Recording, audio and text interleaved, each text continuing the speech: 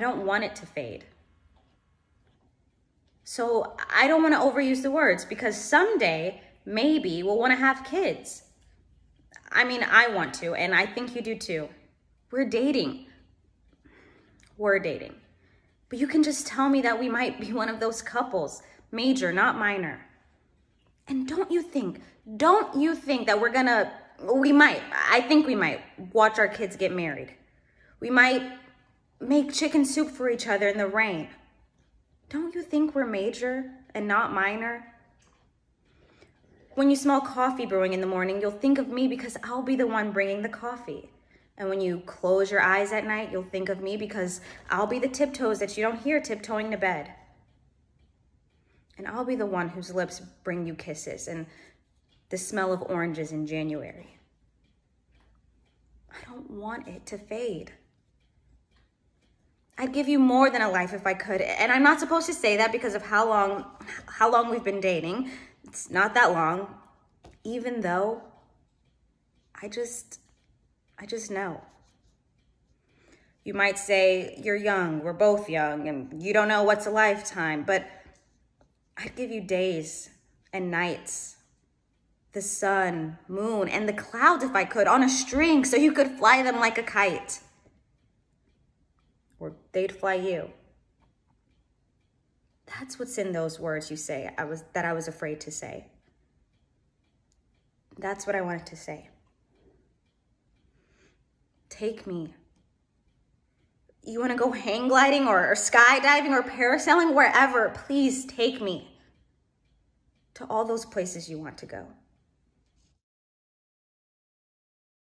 So the fact that you don't get punctuation, that's what I was trying to get at. The fact that you don't have punctuation makes that first sentence difficult because it looks like it's two sentences the first sentence of I don't want it to fade, so I don't want to overuse the words. Yeah, like that's all one thought, right? So it's uh not uh-huh. I don't want to fade, period. So I don't want to overuse the words, period. It's like I don't want to do this, so I don't want to do this. Right. Okay. Um. So cause and effect. It's one thought. Yeah, and for me, I use the like circling two things and connecting them, not just when I have like two opposing ideas or two opposite contrasting things. It's when I want to weigh things in each hand. You circle right? phrases or you circle words? I circle I circle the the word that I'm going to hit the most. So mm-hmm. like you might circle what you've underlined, right? Fade and then circle overuse and link them together. And visually what that's going to do for you as an actor is just say I need to make these two words contrasting vocally so that the audience can hear that they are cause and effect and that, that they're related to each other. I don't want it to fade. Nope. Emphasize want again. Okay, let me start over. I don't want it to fade, so I don't want to overuse the words. Then it really is in response to whatever Vicky had just said of like, but you haven't even said I love you yet, or whatever it might, whatever that line before might be. I don't ever hear it from you enough. Maybe it's something like that. Then you get mm, the response of, well, I don't want it to fade and I don't want to overuse the words because these are all the things that I've been thinking about. I like that. I'm going to make a sentence from Vicky. Yeah, I mean, really, monologues are the hardest things for actors to do because you don't have a scene partner. Yeah. Because you've got to imagine your scene partner and because you've got to imagine how they're reacting to you in real time when there's nobody there. So you've got to create those moments for yourself, even throughout the piece, of what words are you saying in this monologue that would trigger a response, be it a shift in facial expression or she turns away from you? Like, what can help you as an actor to keep the momentum moving forward in the piece? And that also then, in hand in hand, turns to different tactics too. Oh, so that's absolutely what that means. Major meaning like iconic and long lasting and all the things that you know and know in your gut to be true about this relationship. Not just couples who say i love you and that is the the the depth of it all it's just those those words. It's deeper than that. Yeah. Yeah. And also that like major major meaning like gonna last forever not gonna last two weeks. Yeah. Yeah so maybe defining for yourself i just saw you smile that's why i just want to highlight like the the parts where like you start to have images or you're starting to think of other things or you're starting to put it in your own words like that's the kind of notes you need in in the in the margin to remind yourself how you as an how you as an actor you as a person would mm-hmm. would have said that. If you're not going to use the words major, not minor, what words would you use? Like deeper. It's not shallow. It's not a shallow. This is deeper. If that's what that means to you, that's what I put in the margins, right? Like, how would you interpret that into your own language? Because these words aren't yours, even though you might feel like, man, this is a great monologue and this sounds like me. You might not use the exact words to have this conversation with somebody. What she's saying, the words I love you are minor. What we have, what we want, the future I picture for us is major. Yes. The phrase of I love you, it's like wait, you never pictured our kids? You never pictured what it feel like waking up? To me, that's what I love you means. So you explain yourself, actually, kind of that kind of contrast. And what you just did with your voice when you just put that in your own words is what I want you to do here. You uncovering these things and saying, like, you know, I feel like crying is you uncovering really how the playwright got to this place or how the playwright has carved out this life for this character. Mm-hmm which is exactly the kind of tether that you need to have between you and this piece, which these words aren't yours. But now that you're uncovering some of that by doing text work, it's going to it's going to read because you understand what's at stake. Right. When I think she's when I think she says, "Don't you think?" I think she's also saying like, "How do you not understand?" Yes. And that's exactly what I mean about you putting this in your own words. Thinking about, oh, washing your clothes, doing your laundry. Like, no, that's not something major, but the thought behind it is because it goes it goes deeper. It's not wow, this is crazy. I can't even like find all the words that I'm trying that I'm like understanding and starting to feel. Yeah. And it's great that you're thinking of things like examples that you would use, like what you just said of like laundry like immediately I thought of like what would that what would that like idea of like what's significant about laundry with the person that I'm married to, right? Yeah. So for me, I'm thinking like how like I smile to myself when I fold my husband's clothes. Yeah. And how significant that is. It is. It's that's major. it's major, not minor. Yeah, it's major. Yes. And what you just did with your voice there is exactly what I want you to explore when you do this. Okay this is all of that is to say that I don't want this to fade. Oh, I'm getting chills. This is really me like, too. I literally my on my legs. me too. Me too. I don't want it to fade, so I don't want.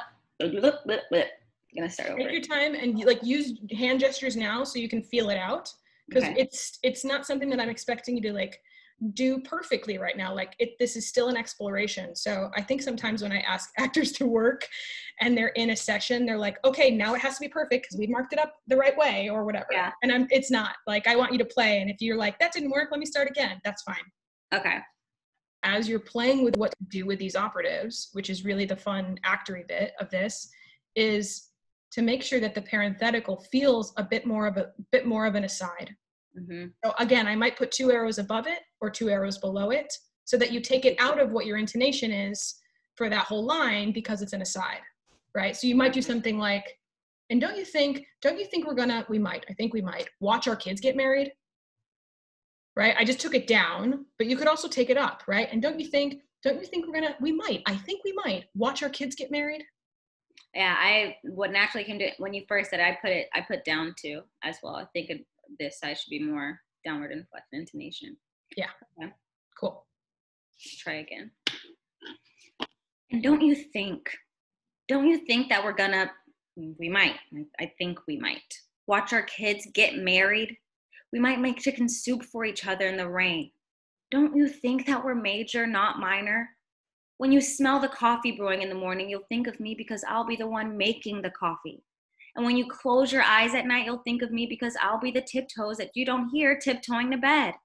And I'll be the ones who, and I'll be the one whose lips bring you kisses and the smell of oranges in January. I don't want it to fade. Yes, Hannah. That's exactly what I mean. Can you feel how that whole thing built? And yeah. it built pretty naturally in your own voice just because you've got the, the markings on the page that say, I need to build this. And this helped. And it didn't make it, and it, then also didn't make the list feel rushed. It didn't make me just feel like I was going. Brrr. There was a cause and effect to everything I said and the thought process behind. I felt the past thought of me or Erica thinking about our, like having already thought about making her coffee, having already thought about tiptoeing to bed and giving her kisses and oranges. I felt that way more. Great. And that level of specificity is really what makes this sound like these words are yours. I think it would even be kind of fun to play with.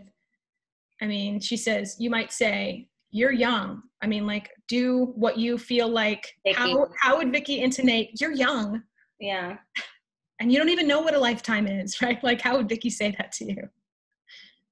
And it's funny because then at that same time, it's like that we're both young. It's kind of like, relax. That's your voice like, again. I'm yeah. thinking about it too. We are. yeah. Yeah. I just again really see the importance of breaking down the text, going through these operatives, like you say. Um, you really helped me see the flow of and the thought process behind this. I can't believe I didn't even notice that there was no punctuation until you said it. There's literally one period in the entire two, at the very end too, but in the entire thing. Um, and a great open, free place to play. Like I was very excited to get to work and I've been feeling so like comfortable working with you just like in this coaching session. Uh, there's no really stress. I don't feel like there's any bar that I have to reach. I really appreciate that there's that we're finding and playing with this together and working together. This is this shouldn't feel like a teacher student. This should feel like you've got a coach in your corner who's being like, "Yo, Hannah, you can do it." That's exactly what it feels like. Glad.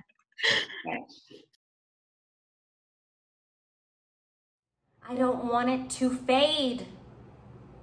So I don't want to overuse the words because someday maybe we'll want to have kids. I mean, I want to, and I think you do too. We're dating. We're dating, past tense. But even though I can still just tell that we, we might be one of those couples. Major, not minor.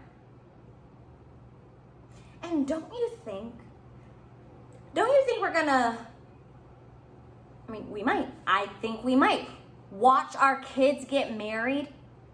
We might make chicken soup for each other in the rain. Don't you think that that's major, not minor?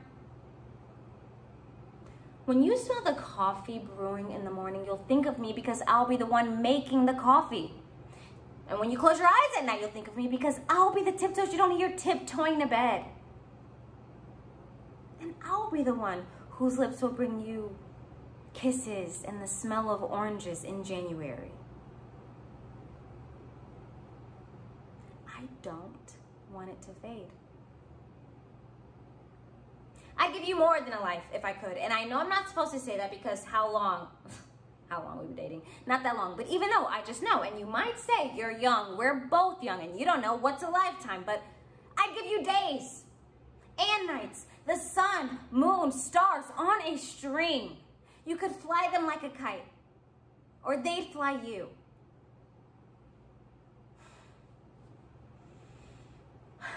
That's what's in those three words you say that I was afraid to say. That's what I wanted to say. Take me. You want to go hang gliding, skydiving, parasailing, wherever. Take me to all those places you want to go.